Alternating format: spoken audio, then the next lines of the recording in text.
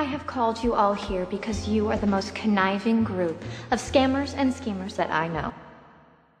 Best friend. Thanks for clarifying. I still don't understand why Georgina is here. You can't have an evil cabal without the... And frankly, I should have been given more notice. You lost your royal status when I took your phone at Cotillion.